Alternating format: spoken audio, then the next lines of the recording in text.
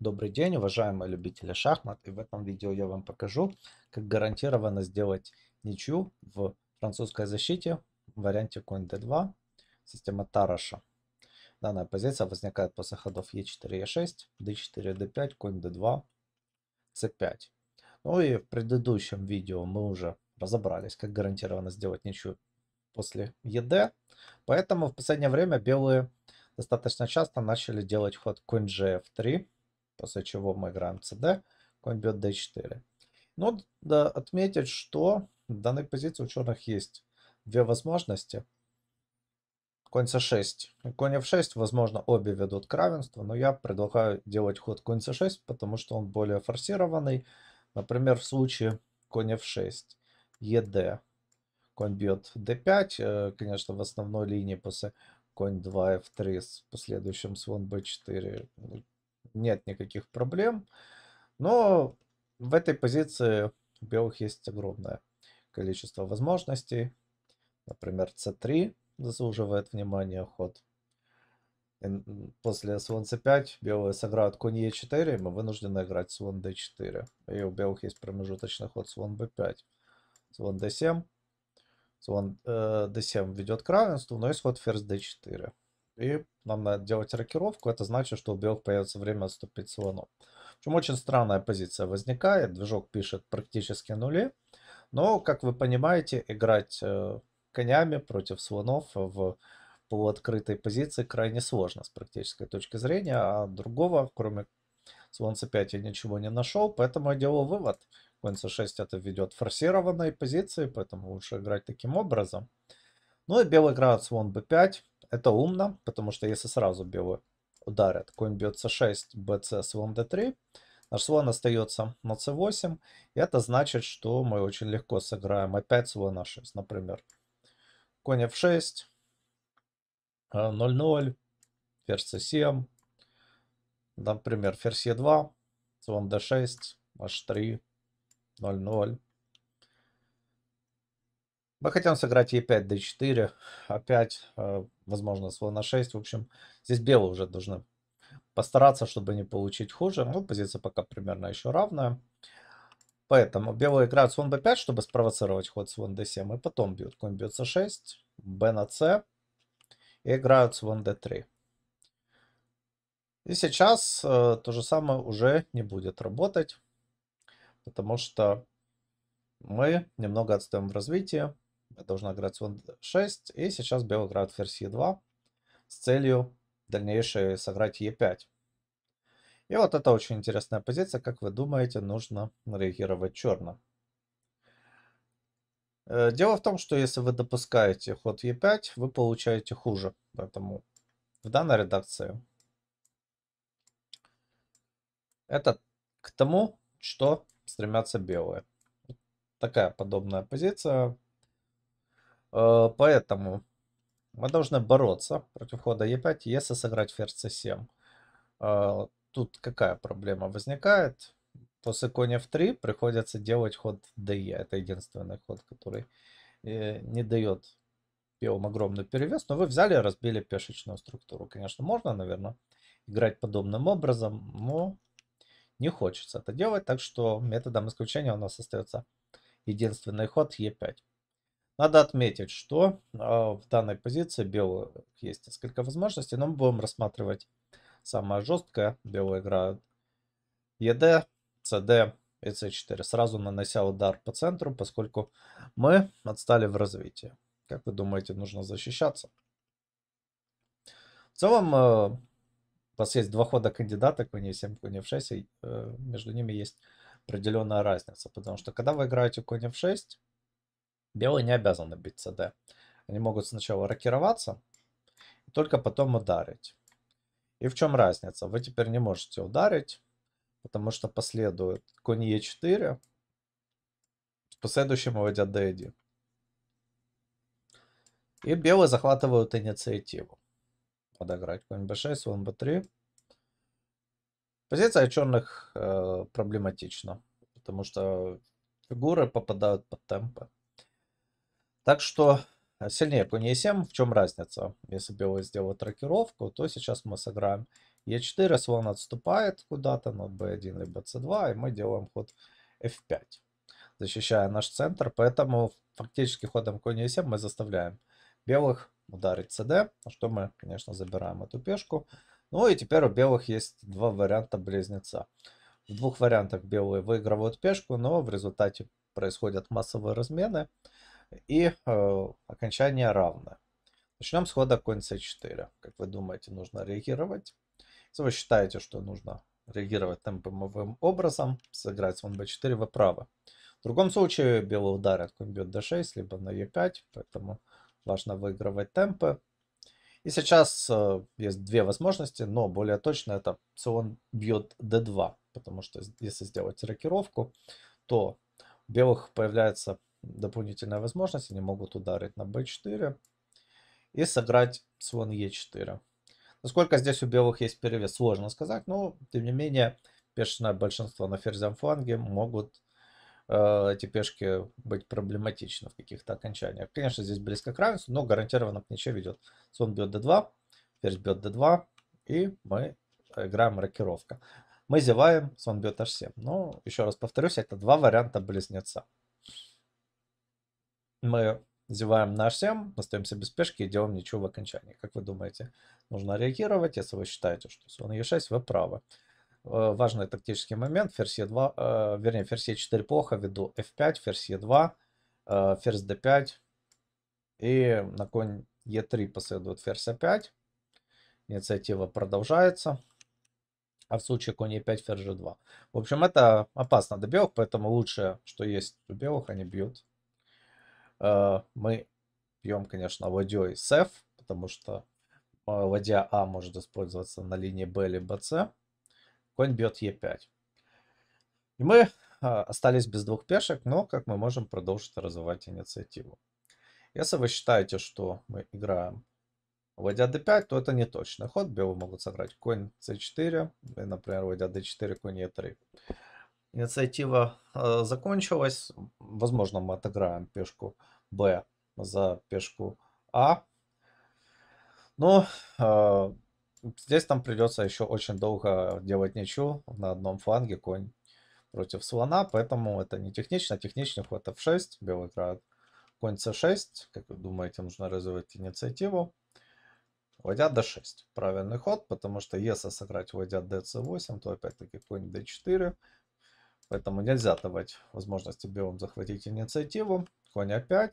Ну, надеюсь, вам понятно, что сейчас можно э, играть эту позицию по-разному. Например, заслуживает внимания ход слона 2, нельзя бить слона ввиду ладья Е8 и ладья D1 мат. Ну, еще проще сыграть ладья B8 с угрозой ладья B2. И если белые отдают пешку, конь B3, слон B3, АБ, то мы эту пешку можем, конечно, ударить и играть окончание э, с тремя пешками э, против двух на одном фланге. Конечно, это элементарно ничья, но еще проще. Дать шаг на Е8 и сыграть ладья d2 с угрозой ладья Е, Е2. Король G1, ладья Е, Е2, ладья F1, ладья B2. Мы забираем пешку на B3. Ну и в целом белым теперь уже надо аккуратно делать ничью. Хотя очевидно, что они э, этого легко добьются. Например, ладья G1 и опять ладья А1. Это менее интересная ничья, ну, вариант, который также надо знать. Более интересная ничья начинается с хода слон Е4. Как вы думаете, нужно реагировать? Вот действительно очень опасно. Мы не можем сейчас, например, отступить конем, пожертвовать качество. У нас просто недостаточно компенсации. Здесь оценка плюс 2. То же самое можно сказать про ход конь b6. Защищать э, коня также, конечно, нельзя, потому что мы теряем фигуру. Поэтому у нас есть всего один активный атакующий ход, это конь f4, на что белые реагируют ферзь a6. У нас под боем слон и ладья. Что делать? Если вы считаете, что надо отступить слоном на c7, чтобы держать пешку, то это ошибка. Действительно, слон а8 здесь не работает, но белые могут сыграть конь c4, рокировка, и они бьют на f4. Делают рокировку, теперь наша ладья под боем, надо отступать. И белые могут забрать пешку на А7 с перевесом. Э, более точный порядок ходов это сначала напасть на ладью и забрать пешку. Вот в этом проблема. У нас начинает подвисать пешка, поэтому Это проявляется не сразу, а через несколько ходов, но мы должны проявить профилактическое мышление, сразу сыграть слон c5, защищая пешку на а7. 0-0. Белые не могли ударить, потому что после ферзь бьет а8 угрожает конь g2. Если вам интересна оценка, то тут минус 6. Просто черные создают решающую атаку. У белых нет координации между фигурами, поэтому белые рокируются. Но сейчас уже слон а8 реальная угроза. Поэтому надо отступать ладьей. Если вы считаете, что отступать ладьей надо на c8, это не точность. Потому что белые играют конь b3. И у вас нет времени на то, чтобы сыграть э, слон на b6. Потому что после размена белые играют а4 с угрозой а5. Пешка на а7 теряется.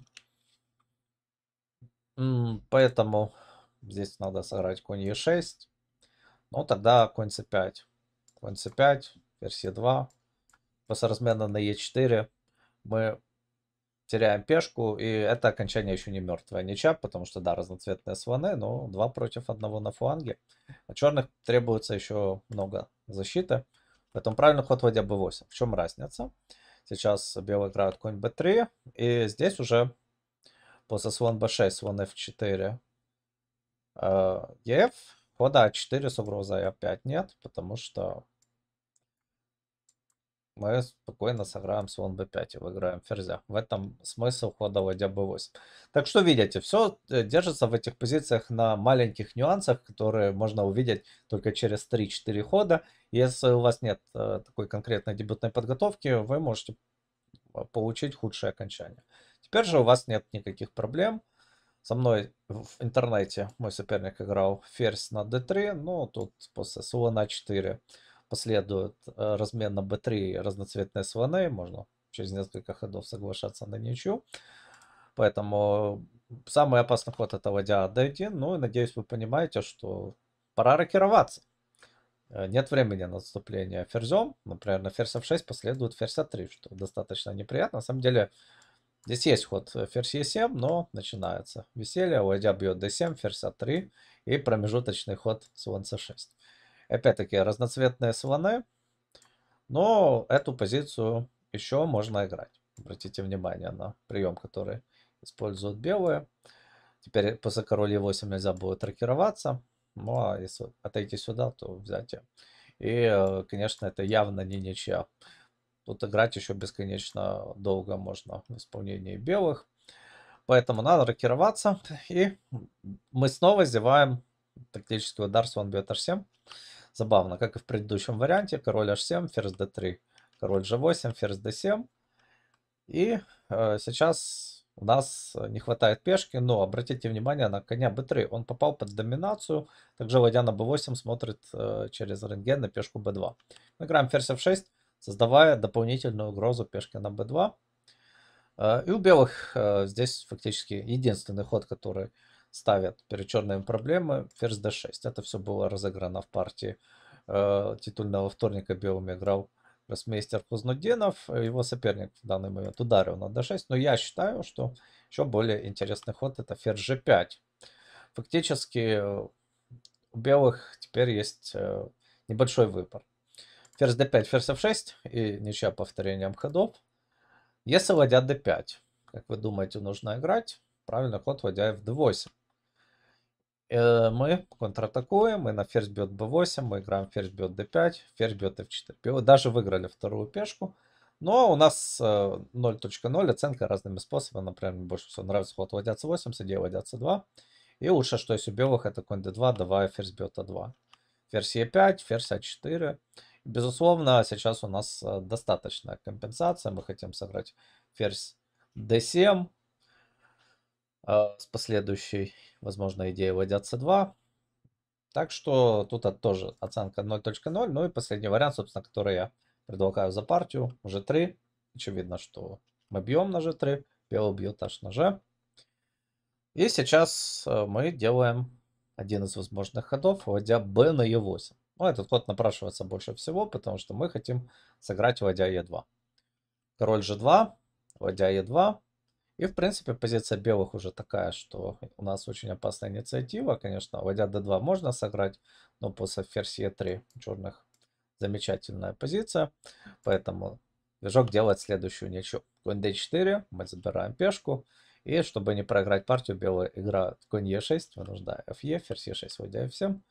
После чего белые дают вечный шах. Очевидно, что нельзя от него уклониться, если король идет на линию А, что теряется ладья.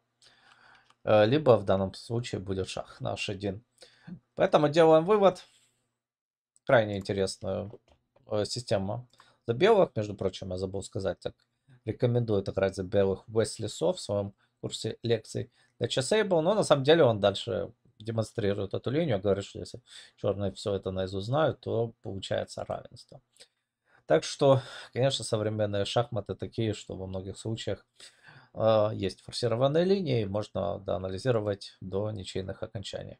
На этом все. Спасибо за внимание. Надеюсь, вы понимаете, что французская защита. Это очень перспективный вариант для того, чтобы делать ничьи черными э, гарантированно. И э, все равно пишите в комментариях, какие другие дебюты вы хотите рассмотреть. До новых встреч!